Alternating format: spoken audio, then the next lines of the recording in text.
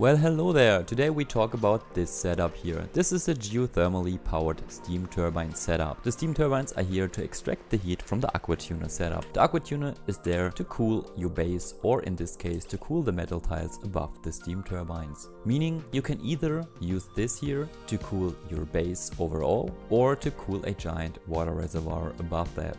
If you want to use the heat from the steam turbines, stop cooling these tiles here, transfer your cooling loop to other places in the base and put regular water here. The water will then heat up over time and you can use the heat on other places in the base. Just make sure that this pool stays under around 70 degrees Celsius because what we use here is ethanol as shown here in the gas overlay and in the liquid overlay. Ethanol has the awesome feature of turning into a gaseous state at around 78.4 degrees Celsius. You need to add 3 more degrees for it to actually turn. When it turns, it turns gaseous as already mentioned. The ethanol gas though, if we can find it here, has a condensation point of 78.4 and a different special heat capacity, deleting heat when condensating. This is why we cool the metal tiles here. Even though they are just 30 degrees, it is enough to cool down the ethanol gas. It will drop down, turn liquid again, the steam turbines will heat up, turn it gaseous again, and so we do have a nice circle, deleting heat, saving us um, the necessity to actually cool the steam turbines actively. We just cool the metal tiles above them.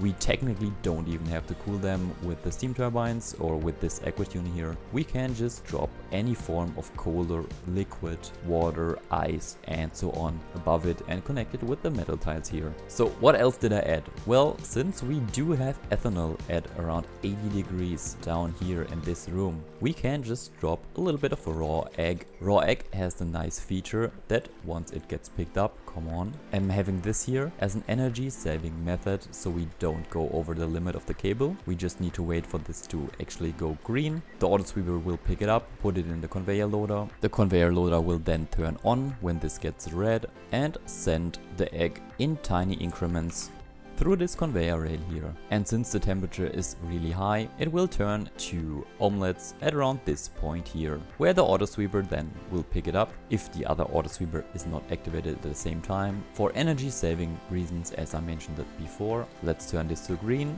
It will get picked up, put in the conveyor loader, and then sent down the same conveyor rail, but this time as omelette. But only after all of the egg has been processed. It will then get stored in an infinite storage with hydrogen gas to the left, which is super cold and keeps the omelettes fresh for basically ever. Can you just show it to me again, please? Just here.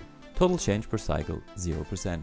Of course this is not viable in a normal base, it would be smarter to place this more like here or a few floors above that, but this is just to show you the principle. The cooling for this comes from this thermoregulator here, which runs only two steel pipes through the infinite food storage, goes in a circle, does not touch the metal tiles, that is unnecessary, we only go from insulation to insulation, and then goes back into here. The temperature gets checked, and with this we have a cooling loop. Once this is cool, this does no longer have to work. If you put in hot food, it has to work for a short while, but then gets turned off again power grid consists of a single conductive wire, which technically goes above the 2000 watts of power, but since we do have an automation for the auto sweeper and the auto sweeper to the right, telling us that only one auto sweeper can be activated at the same time, or only the auto sweeper or the conveyor loader on the right can be activated at the same time, we hover at around 1800 watts if all the machinery is turned on at the same time. This includes the thermoregulator, the thermo aquatuner, one of the auto sweepers here, auto sweeper or conveyor loader and one of the auto sweepers here in the middle plus the conveyor loader at the same time. So if you want to use this setup for power generation you can just expand it by adding something like this to the left or to the right.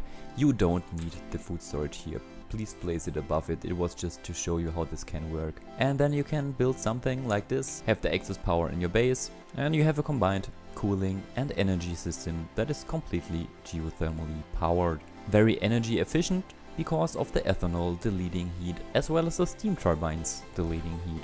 With a setup like this you have the ethanol not condensing, it still transfers the heat pretty effectively, but I would suggest having a liquid that is at least below the condensation point of 78 degrees Celsius. So let's assume we have a liquid here, crude oil at 60 degrees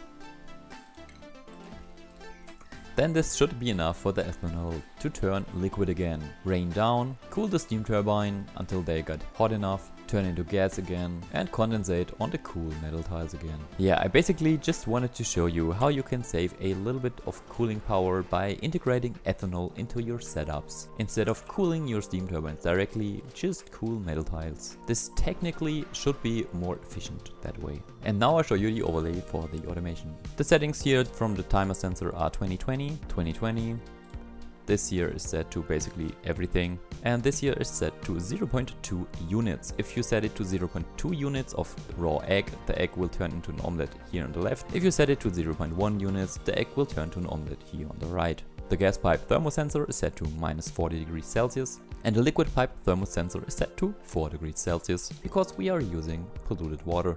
And that's pretty much it guys. If you have any questions, just wanted to show you my hopefully more energy efficient way to integrate steam turbines and ethanol into a cooling setup.